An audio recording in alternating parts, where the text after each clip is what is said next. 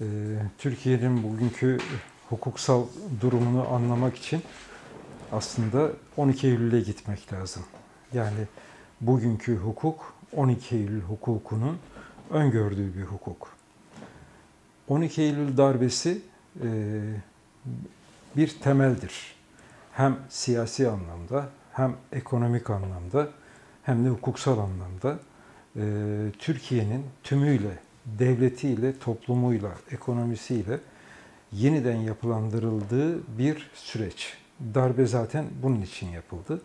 Darbe öncesindeki toplumsal mücadele, sınıf mücadelesi, Kürt halkının mücadelesi e, egemenleri e, büyük ölçüde e, korkutuyordu ve öte yandan da ekonomide neoliberal uygulamaları istedikleri gibi e, yerine getiremiyor e, getiremiyordu. Çünkü Türkiye işçi sınıfı özellikle bu uygulamalara karşı bir direniş hali halindeydi. E, bu direnişi kırmak gerek işçi sınıfının gerekse Kürt halkının siyasi temsilcilerini, örgütlenme yapılarını dağıtmak için 12 Eylül darbesi gündeme getirildi. 12 Eylül darbesiyle birlikte işte demin ifade ettiğim gibi e, hukuktan siyasete, ekonomiye kadar her şey yeniden yapılandırıldı. 12 Eylül hukuku yani askeri darbe hukukuyla bir anayasa hazırlandı.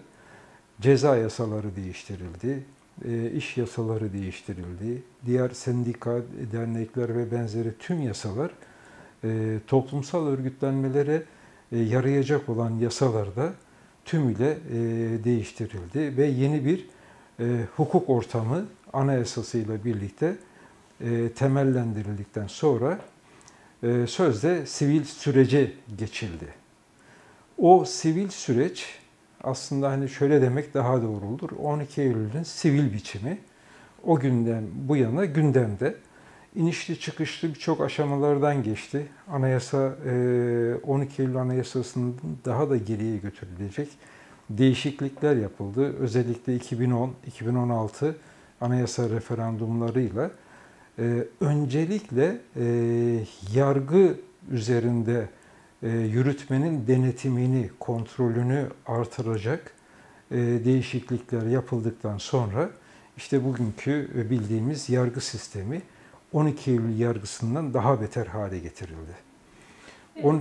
12 Eylül Anayasası'yla birlikte e, kurulan yargı sisteminde az da olsa, e, çok az da olsa var olan o güçler ayrılığı bugün tümüyle ortadan kaldırıldı. O gün 5 generalin e, denetim ve kontrolünde sıkı yönetim mahkemelerinde yargılamalar yapılıyordu. İşkencelerde onların denetiminde emniyet binalarında ve cezaevlerinde yapılıyordu. Şimdi de sarayın, saray etrafında birleşmiş tarikat ve işte MHP'den, tarikat güçlerinden oluşan bir koalisyon. Bunların hepsinin e, bağlı olduğu tek adam. Hani beş generaldi ama bu sefer tek adam üzerinden bütün yargı sistemi ve sadece yargı değil, devletin bütün birimleri. Hatta en alt düzeydeki bir müdür bile bazen saraydan talimat alarak iş yapar hale geldi. Şu anda e, cezaevlerindeki hasta tutuklulara yapılanlara, işkence, yeni işkence biçimlerine, intihara sürükleme ve benzeri e, olaylara baktığında e, ben genellikle 12 Eylül dönemini hatırlarım. E, tabii 90'lı yılların e, ve 2000'li yıllar özellikle F tipine geçiş sürecini hatırlarım o dönemdeki cezaevi politikaların arkasındaki gerçekliklerle gerçek amaçla bugünkü arasındaki amaçların hiç değişmediğini, özet itibariyle aynı olduğunu görürüm. Tabii biçimsel farklılıkları var. Ee, bugün anlamak için yine 12 e, Eylül'e bakmak gerekiyor. Yani cezaevlerinde bugün yapılanlar e, temel politikası yine 12 Eylül'de atıldı. 12 Eylül öncesinde de var. Ama 12 Eylül bir dönüm noktası için olduğu için e, özellikle 12 Eylül'den bahsediyorum. Yoksa e, 20'li 30'lu yıllara gittiğimizde çok daha ağır koşulların yaşandığını, hani kitlesel Kürt katliamları e, ve benzeri şeyleri e, ve o dönemin zindanlarını, e, gündeme getirmek mümkün ama biz yine e, hani bu kapsam içerisinde çok fazla dağıtmamak için 12 Eylül diyorum. 12 Eylül döneminde darbe ile birlikte bütün sol kesimin, demokratik kesimlerin, işçilerin örgütlenmeleri, yapıları, her şeyin özneleri darmadağın edildi. E, bütün bu kurumlar kapatıldı, yasal olan bütün kurumlar kapatıldı ve yasal e, süreç içerisinde bunların yasal yöneticileri tutuklandı, kimileri cezaevinde öldürüldü. O dönemde cezaevi ve işkence iki şey öne çıkıyordu. Emniyette sürekli işkenceden geçiyordu insanlar. Yani e, gözaltına alınıp da işkenceden geçmeyen insan sayısı çok sınırlıydı. Ve ikinci işkence süreci de cezaevinde başlıyordu. Yani işte o dönemin Diyarbakır e, cezaevi aslında bir vahşet evi demek daha doğrudur. İşte Metris, Mamak, e, literatüre, tarihsel literatüre bu isimlerle girdi. Oralarda uygulanan vahşet e, bugün o düzeyde değil. E, fakat 12 Eylül döneminde cezaevlerinde uygulanacak geleceğe dönük politikanın temelleri 12 Eylül'den hemen sonra DGM'ler sürecinde atılmaya başlandı. Fakat şöyle bir yanı var tabii. Biz 80'li yılların ikinci yarısı ve 90'lı yılların başlarında e, hem toplumsal mücadele hem de cezaevlerindeki mücadelenin kazanımları söz konusuydu. E, o süreçte bu kazanımlarla geçti. Ama daha sonra 96 ve 2000'e doğru gelirken cezaevlerinde e, denetim sağlayamadıkları takdirde toplumsal muhalefeti de denetleyemeyeceklerini, kontrol edemeyeceklerini çok iyi biliyorlardı. Bu nedenle yeniden cezaevlerine yüklenme başladı. 96'ya doğru tek tip elbise gündeme getirildi yeniden. Buna karşı açlık grevleri, ürün oruçları yapıldı ve bu saldırı geri püskürtüldü. 2000'lere gelirken e, iktidar bu sefer işte CHP hükümetteydi. Ecevit hükümeti vardı. 1999 ee, yılında e, Ulucanlar cezaevine operasyon yapıldı. Takip eden 2000 e, yılında Burdur cezaevine operasyonlar yapıldı. Ulucanlar'da 10 e, devrimci, sosyalist katledildi. Hem de çok vahşi bir biçimde katledildi. Birçok insan sakat bırakıldı. De, bir deneyimdi, bir pro, provaydı daha doğrusu. Burdur'da da benzeri yapıldı. Veli Saçlı'nın işte kolu koparıldı. Yine birçok insan sakat bırakıldı. Ve 19 Aralık 2000 yılında 20 e, cezaevinde aynı anda operasyon başlatıldı. Bu operasyonlarda 30'dan e, fazla insan öldürüldü. Daha sonra açlık grevleriyle direnişe geçildi. Bu süreçteki ölenlerle birlikte e, ölenlerin sayısı giderek arttı. 120-130'ları geçti. Şimdi e, bugün geldiğimiz süreçte e, hani 2000'li yıllardan sonra AKP'nin iktidarıyla birlikte e, sanki yeniden demokratik bir ortama geçiliyormuş gibi bir hava yaratıldı ama AKP şu kolaylığa sahipti. Daha önceki iktidar tarafından F tipi cezaevleri kurulmuş devrimciler, Kürt siyasetçiler hepsi bu F tipi cezaevlerine kapatılmıştı. Büyük ölçüde bir baskı sağlanmıştı. Bu baskı ortamında kısmen bazı gevşemeler yaparak bir toplumsal algı yaratıldı. Sadece cezaevlerinde değil, genel olarak toplumda. İşte e, Amerika, Avrupa Birliği işte destek çıktı, arkasında yer aldı ve krediler işte şişirilerek, neoliberal ekonomi uygulanarak e, krediler yoluyla e, orta sınıf e, işte şişirildi. Bir birçok şey oldu. Şimdi onlara girmeyeceğim. Ama bu süreçteki e, şey bir bir 10 yıl kadar aşağı yukarı devam etti. Arkasından anayasa değişikliği, iktidar içerisindeki kapışmalar, 15 Temmuz darbeleşmesi ve Kürt halkının mücadelesinin ivme kazanması, özellikle işte Suriye'de, Türkiye'de e, bu kazandığı ivme karşısında iktidarın e, cezaevlerine yönelik politikası da değişmeye başladı. Daha önce olduğu gibi cezaevlerine yönelik bu baskı politikası son yıllarda giderek arttı ki bundan sonra da artacak gibi görünüyor.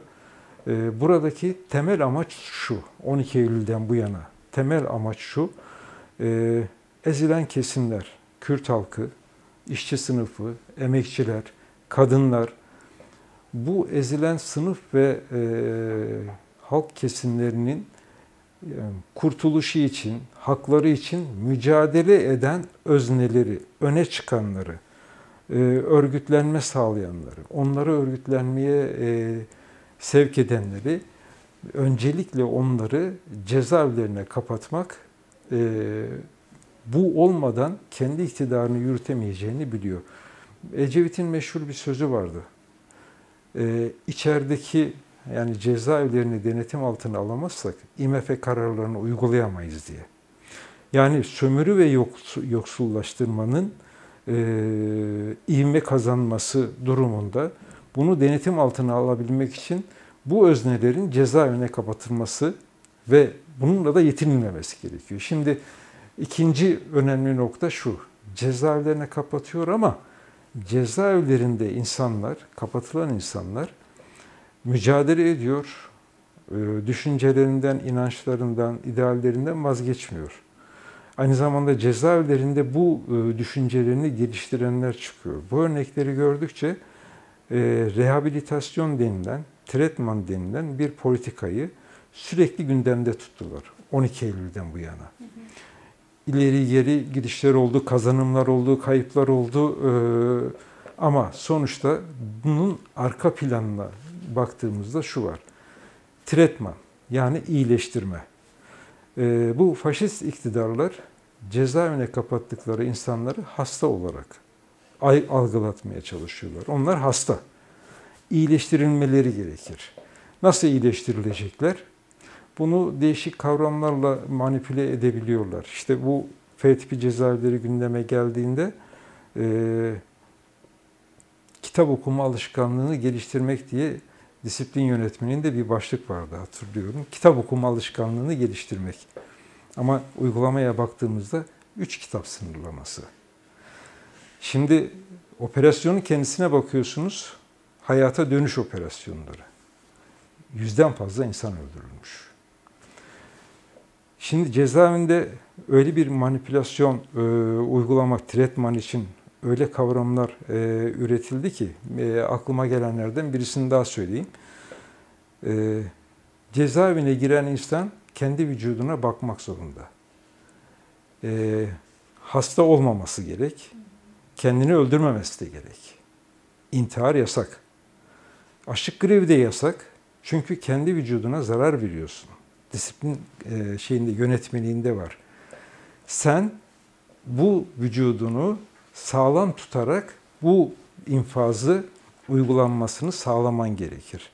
Eğer bu ceza infazının uygulanmasını engel olacak şekilde vücuduna zarar verirsen suçlusun. Böyle tuhaf şeyler vardı. Sonuçta bu nasıl yansıdı? İşte e, ceza infaz hakimliklerinin kararlarına da yansıdı bir tane ceza infaz hakimi açlık ile ilgili şöyle bir karar verdi. Allah'ın verdiği bedene sen zarar veriyorsun. E, bu anlamda disiplin suçu işliyorsun.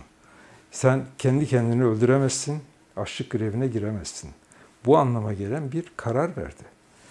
E, böyle tuhaf uygulamaların arka planında e, şu önemliydi tecrit yani atomize etmek, bireylere ayrıştırmak. Bu toplumda da vardır. Topluma yönelik de vardır. Ee, toplumu bireylerine atomize edeceksin. Dayanışmaya engelleyeceksin, örgütlenmeye engelleyeceksin. Herkes kendi bireysel hücresinde özgürce yaşayacak. Neoliberal ya da klasik liberalizmin e, en çok savunduğu şeylerden birisidir e, bireysel özgürlük ama arka planı bireyci özgürlüktür. Bireylerine ayırdığınız zaman onları tek tek hücrelerinde vurmak daha kolay olur. Şimdi e, cezaevlerindeki bu e, tecrit politikası, öncelikle tecrit politikası e, onları yalnızlaştırdıktan sonra dayanışmayı, haberleşmeyi, içeride dışarıda olup bitenlerinden bilgi sahibi olmasını engellemeyi azami düzeye çıkardıktan sonra kendi kendisiyle hesaplaşması, ideolojik bütün kaynakların elinden alınması ve giderek tabi bu da yetmiyorsa eğer fizik fiziki işkence, ruhsal işkence e, metotlarının uygulanmasıyla sonuçta iyileştirmenin sağlanması. Nedir iyileştirme? E, siyasal iktidara, devlete, düzene muhalif olmayacaksın. Tam tersine onun söylediklerini yapacaksın.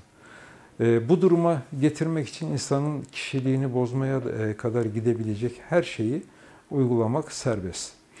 İşte bununla bu şeyin e, sürecin sonucunda şimdi e, hani demin bahsettiğim tuhaflıkların yanında bu sefer de tam tersini hani bedenini diri tutacaksın, cezanın infazını engellemeyeceksin.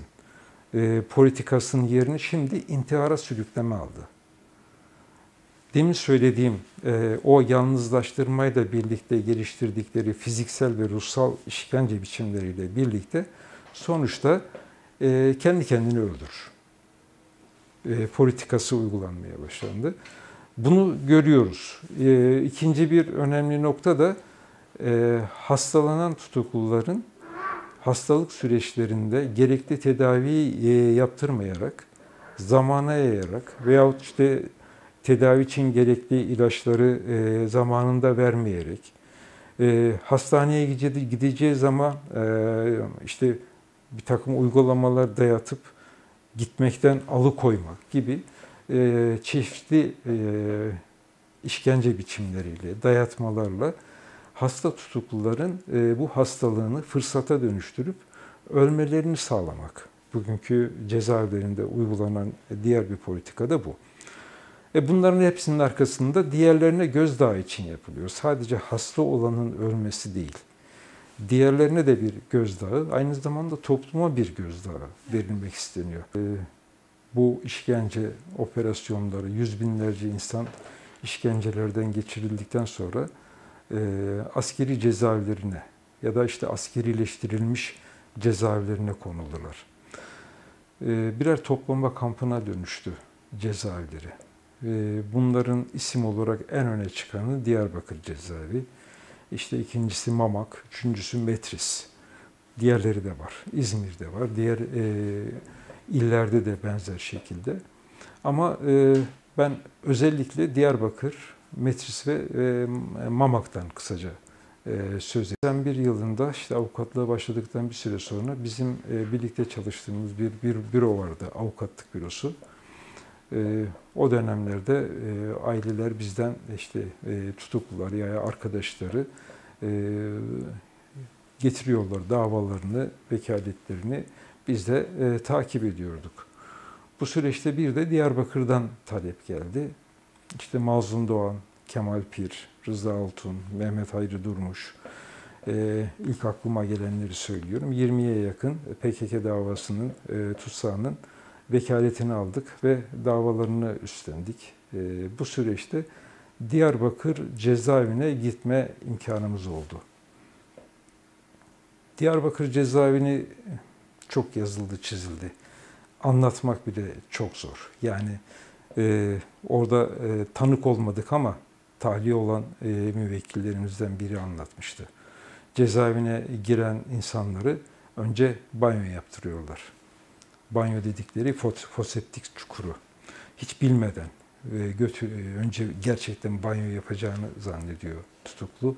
Bir götürüyorlar işte foseptik çukuruna sokup çıkartıyorlar. Sonra cezaevi komutanı denilen o Oktay Esat Yıldıran daha sonra cezalandırıldı hak ettiği şekilde.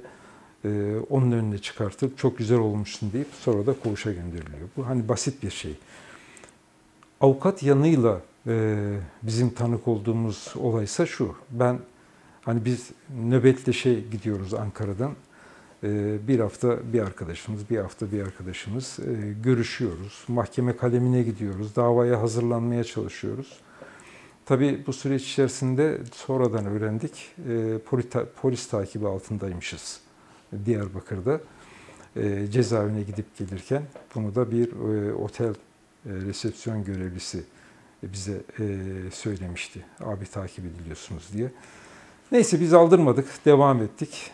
E, ben Diyarbakır'dan hani hukuksal yanıyla nasıldı diye düşünürsek şöyle anlatayım. Diğer tarafını zaten tahmin, tahmin etmek mümkün.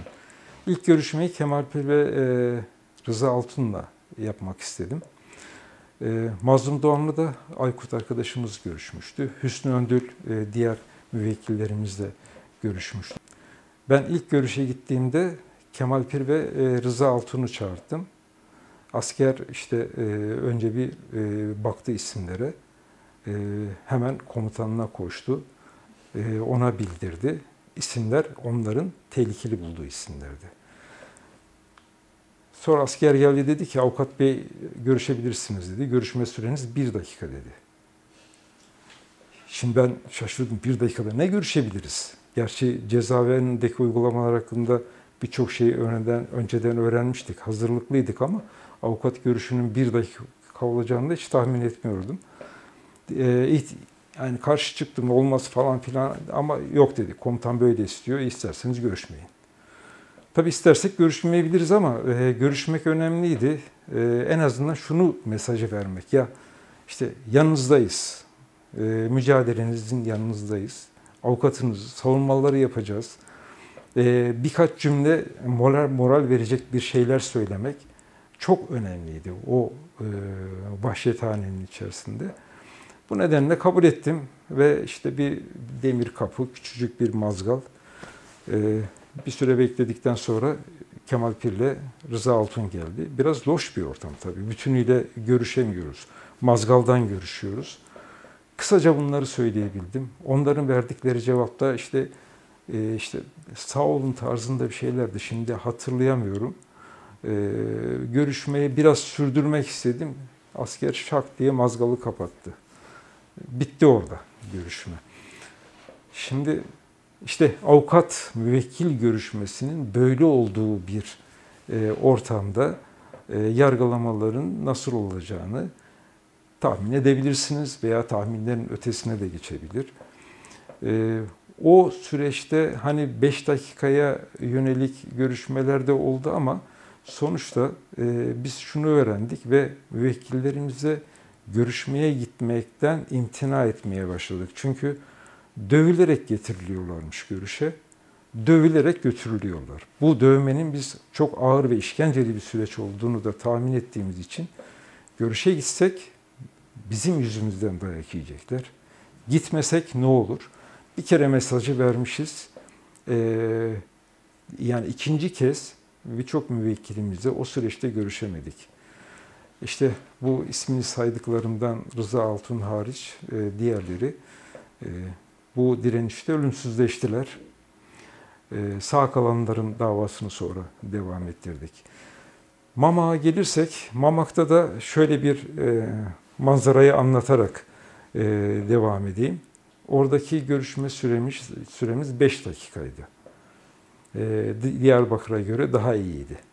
Şimdi e, sonra mücadeleyle 10 dakika oldu, 15 dakika oldu ama görüşme nasıl yapılıyordu? E, Diyarbakır'da olduğu gibi e, kabin, kabin ortadan camla bölünmüş. E, tel, tel örgü var. Sonra telefon takıldı ona. Önce tel örgü vardı. E, müvekkil karşı tarafa geliyor. Görüşmeye başlıyoruz. Benim ensemde bir asker, onun ensesinde bir asker. Görüşmeyi dinliyor sonuna kadar. Süre bittiği zaman da aldığı gibi götürüyor. İstediğimiz kadar orada e, konuşalım, itiraz edelim. Fark etmiyor yani. Mamak cezaevine girerken e, hiç unutamadığım şeylerden birisi şudur. Kötü manzaralardan birisi.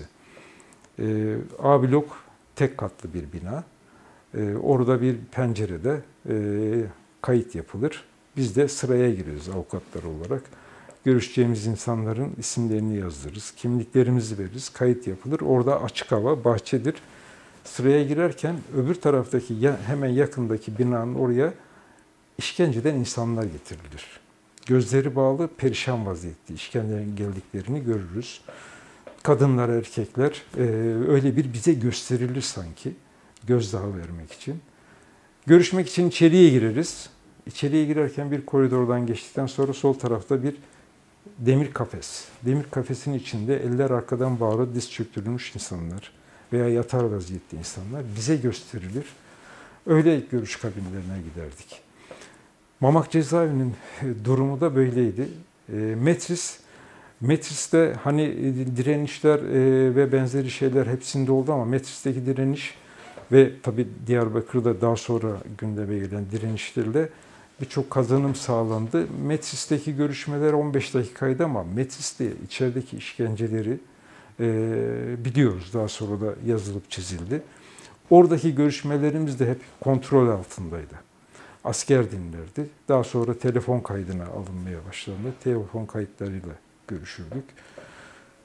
Yani kısa bir kesiti anlattım cezaevlerinden. Cezaevlerinde çok insan öldü. Öldürdüler. Ee, hani toplama kampı gibi dediğimiz bu e, işte birçok değişik vahşetin sergilendiği bu cezaevlerinde birçok insan öldürüldü, sakat bırakıldı. E, şimdi şöyle bir yanı var. O zaman apoletli asker üniforma, işte sıkı yönetim mahkemeleri vardı. E, ne değişti? Değişen belki ölüm sayısıdır. Belki işkenceden geçen insan sayısı sayı olarak belki farklıdır.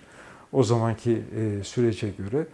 E, başka ne değişti diye baktığımızda rehabilitasyon, kişilik bozma, e, kişiliğini yok etme, e, siyasal muhalif olmaktan çıkarma, işte örgütsel yapısını dağıtma, itirafçılığa sürükleme, intihara sürükleme gibi bir sayamayacağımız birçok şey bugün 12 Eylül'de olduğu gibi şu anda da uygulanıyor. Fakat tabii şöyle bir yanı da var.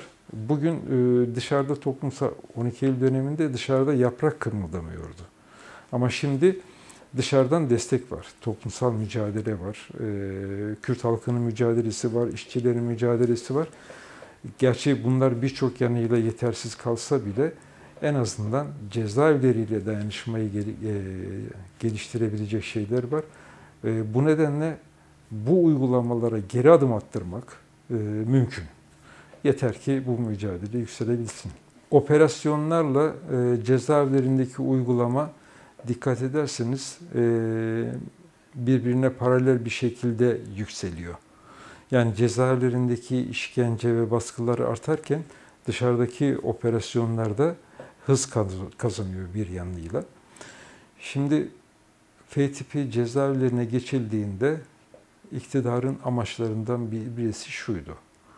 F tipleri e, ne kadar korkunç. Anlatılsın, bilinsin.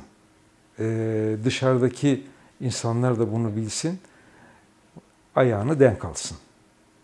Yani bir yanıyla onu teşhir ederken e, öbür yanıyla da bir korkuyu da büyütmüş oluyorduk. Sonra gördük ki F tipi cezaevlerinde de mücadele edilebiliyormuş.